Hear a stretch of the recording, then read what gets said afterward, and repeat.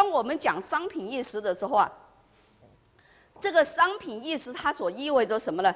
一个是商品拜物教，就是对于资产阶级来说，因为它是直接性的思维，直接性的思维产生的是什么？商品拜物教，商品拜物教。而作为中介性思维，作为一个中介性思维，就是无产阶级的阶级意识，它所产生的叫做商品意识是什么呢？是商品的自我意识，是商品的自我意识，而不是商品拜物教。也就是说，它能够啊把握这个社会的本质，以及自身在这个社会当中的地位和前途和命运。所以这样呢，它就叫什么？商品的自我意识。所以他就说，商品的自我意识是什么？是建立在生产和商品基础上的资本主义社会的自我意识、自我暴露。那也就是说，商品拜物教是什么呢？是对商品的一种崇拜，是吧？是对商品崇拜，就是马克思所说的，呃，这个能把自己手的产品变成了什么？变成了一个盲，就是说变成了一把它抽象化了，变成自己崇拜的一个对象，崇拜一个对象，它才产生什么？是一种宗教的意识形态，就是实际上它和宗教的意思是一样的，而。和这个相对的，那么也就是说，商品拜物叫什么？是没有获得对商品的意思，就是你认识不到这个商品世界究竟是一个什么东西，你没有办法把这个商品世界的这样一个本质揭示出来，本质揭示出来。而作为商品的自我意识，商品的自我意识，也就是无产阶级的阶级意识，它所表现的是什么呢？是在商品的呃商品生是在生产和商品交换的基础上。揭示资本主义社会的本质，也就是说，他能看到这个商品和商品交换后面的本质是什么，所以他的这样一个意思叫做自我意识，就是说他能够认识商品社会的这这样一个本质。所以这个这一个讲呢，实际上我们可以看到啊，我们可以看到，呃，马呃这个卢卡奇啊。在解释这个中介性思维的时候，在解释中介性思维的时候，最后落到无产阶级的阶级意识。实际上，他对中中介性思维，就是说马克思的这样一个实践的思维方式，实践思维方式，一个呢，他在前面呢是从形式上，从辩证的总体性、经验的总体上和直接的这样一个超越和否定，都是从什么？从形式上来说，从形式。这个他的这个无产阶级马克思所揭示的这个实践的思维形式，和这个以前呃和这个近代哲学的思维形式究竟有什么区别？究竟有什么区别？就是他们在思维形式上，一个是直觉性的，用的是一个直，就说这个概念的呃形式逻辑的同一性思维；而作为这个马克思的实践思维形式，它作为一个中介性的，它刚好强调的是什么？一种辩证的矛盾总体，辩证的矛盾总体。所以当说马克思的这个实践是一种历史性思维的时候，不是说。它是和逻辑相对的，而是指什么？它的思维结构内部包含着矛盾，是一种辩证的矛盾思维。这个思维形式呢，它是和这个近代哲学的这种形式逻辑的思维形式啊，它是不一样的。那么后面一个第四个，他讲这是无产阶级的阶级意识的时候，强调的是这个思维的内容，就是这样一个形式，它所包含的内容是什么？包含内容是什么？那就是说，这种形式啊，它不是什么，仅仅是在一个概念逻辑的这样一个矛盾结构当中，它而且包含什么？包含着阶级的行动，它不仅仅是思维的呃思维的东西，它还包含什么？意志和行动。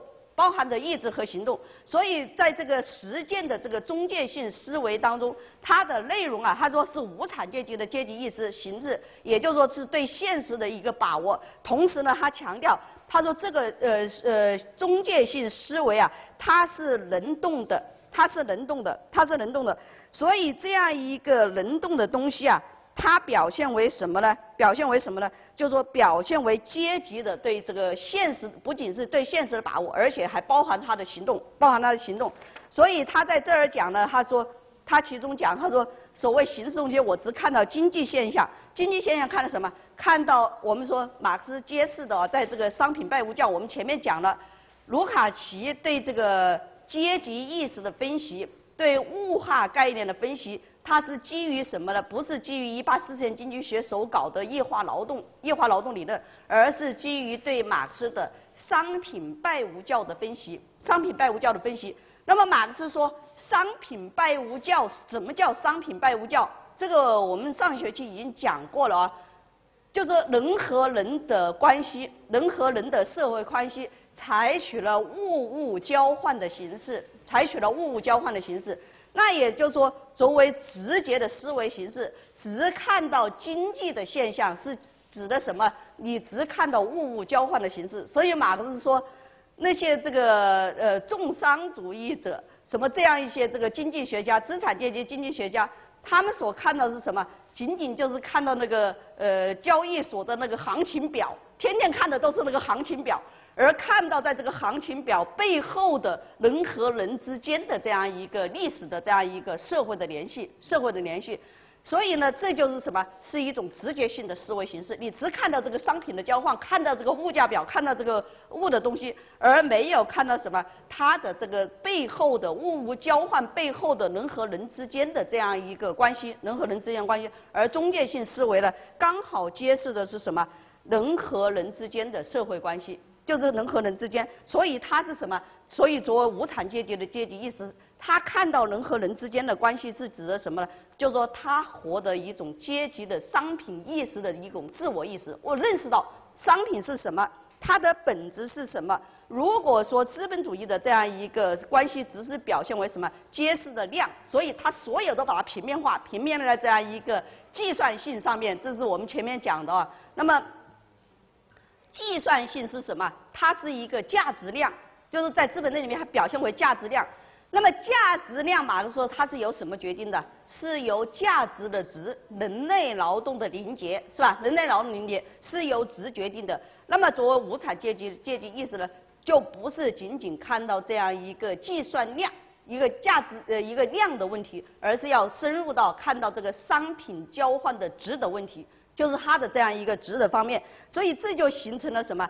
呃，实践和中介性思维的这样一个联系。所以马克思的这样一个实践概念作为一个中介性思维的时候，它是包含着这样四层含义。那么前面三层是就它的思维形式而言的，而作为无产阶级的阶级意识呢，是作为这个思维的内容和它的这样一个本质，也就强调了它和这个商品思呃这个意识之间的这样一个关系。商品意识之间的这样一个关系，呃，那么这样一个关系也表现为什么？也我们说实践作为一个呃这个历史啊，作为一个历史性的存在，作为一个历史性的存在，那么它所表现是什么？无产阶级的阶级意识，无产阶级意识。所以这样呢，他就返回到了什么？对马克思的这样一个实践本身的这样一个研究。这实践本身的研究，呃，回到对无产阶级本身的这样一个研究，他认为，当马克思把这个无产阶级的阶级意识啊，阶级意识和实践联系在一起的时候，和联实践联系在一起的时候，那么也就是对这个社会呀，它的一个总体的把握。所以他说，无产阶级的唯一武器，它的唯一。有效的优势就是他有能力把整个社会看作是具体的历史的总体，这个我们前面已经讲清楚了，也就是他能够什么把握这个社会的本质，有能力把物化形式把握为人和人之间的过程，穿透这个物化现象，人和呃这个物物交换的东西，然后进入到什么？进入到这个社会这个结构的这样一个把握。他说有能力积极的意识到发展的内在意义，并将它付诸实践。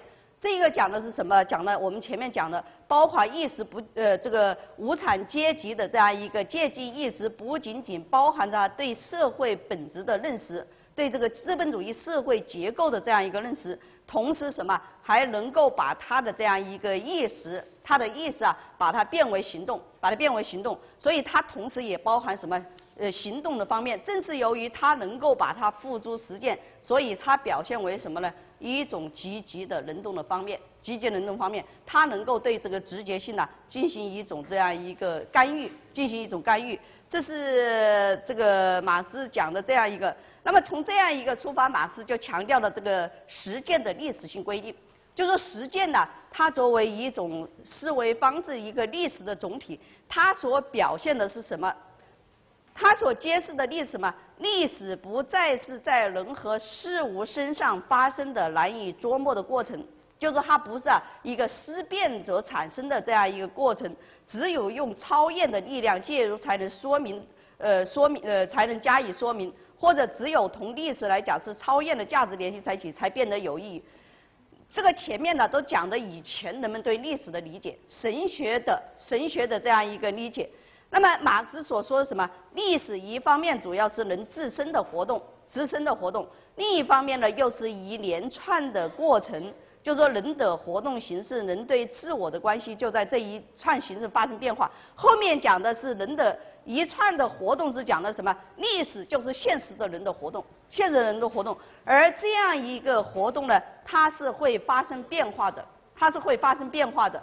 这个就是说强调什么历史的现实性，也就是说，当马克思运用这个实践的呃这个呃运用的这个中介性思维的时候啊，他必然呢就走向了这样一个现实，也就所以说他说，当马克思从无产阶级的立场出发。以人类的能动活动、人的存在方式来说明历史的时候，就把历史看成是人的自我认识、自我创造的过程。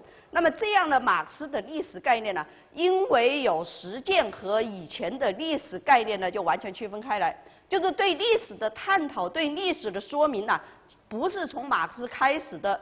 但是马克思呢，是对历史概念的一个呃这个说明的一个完成、一个完成、一个实现。也就是说，马克思的整个哲学啊，都是围绕解决这个什么是历史这样一个问题。因为从这个人呐追究历史啊，这个哲学史上啊，来追求历，这说明这个历史是人们的一个愿望，一个愿望。因为人要认识自身，他就要说明什么是历史。呃，动物是没有历史的，而人是有历史的。所以认识历史就是认识自我。是是认识自我，那么如何能呃这个认识历史呢？这长期以来哲学哲学探讨的问题。那么他他认为在这样一个探讨问题上，所以他说以前的哲学，不管他是讲这个理性思维，讲自然也好，还是讲历史也好，他们都是直接性思维。所以在以前呢，这个历史概念呢，它表现为什么？表现为是在一个。抽象的、超验的，或者说是在通过神学的，他前面讲难以捉摸的过程是什么？是一种神学。你把它赋予上帝的时候，它是一个神学，它是不可捉摸的。那么他用超验的力量解决什么？他是用抽象的理性概念呢，把它解释出来。比方说克罗齐，他把这个历史啊上升为什么？历史的本体。当他去说的时候，还把是建立在概念的基础上，而不能走向现实的历史。那么他说，中介性的这个思维形式，就是马克思的实践思维形式。由于他强调了这个中介性、否定性，通过这个中介走向这个经验主义的这样一个总体的时候，那么它所揭示的是什么呢？是讲的历史是自身的活动。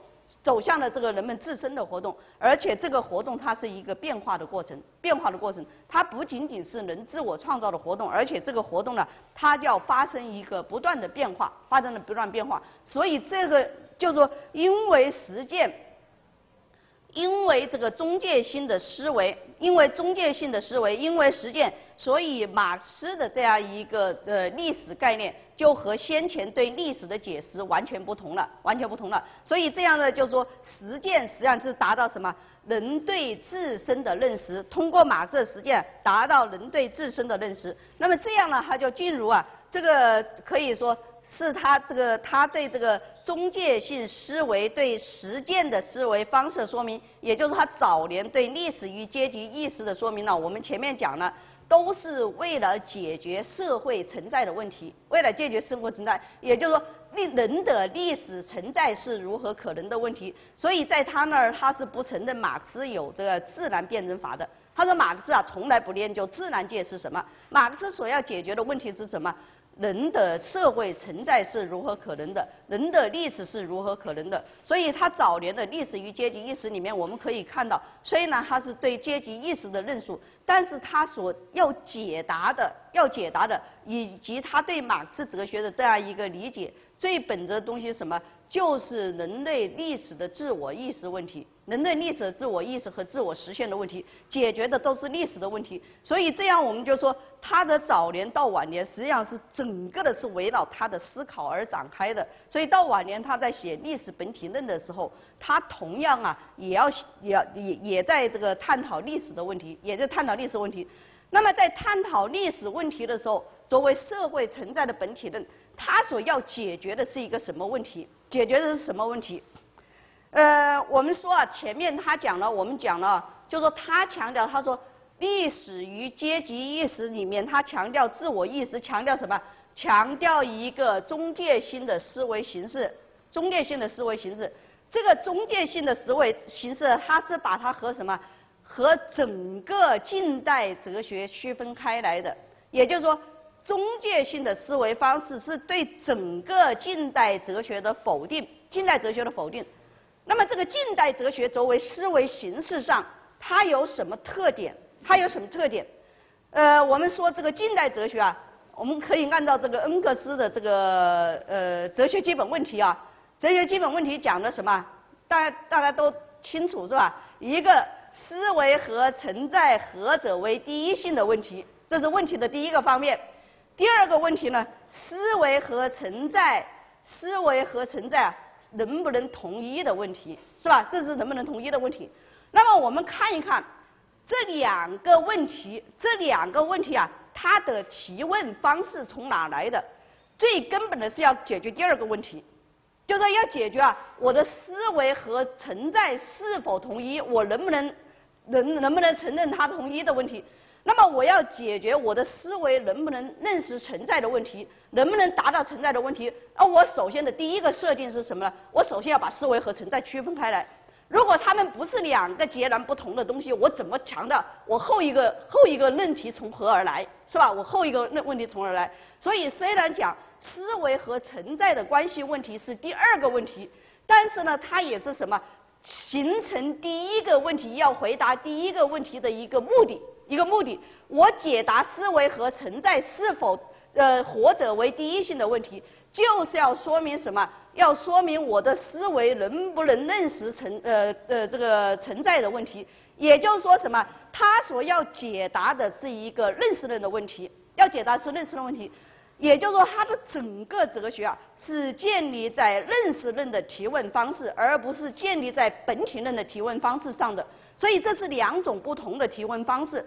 那么，作为现现呃现代哲学对近代哲学的一个阳气，现代哲学阳气什么？就要消除这种认识论的提问方式，而走向一种本体论的提问方式。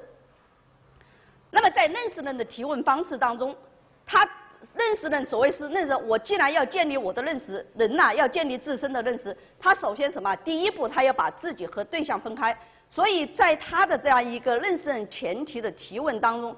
物质和意识的关系，物质和意识的关系，思维和存在就是何者为第一性，物质和意识何者为第一性的问题，它一定是二元对立的。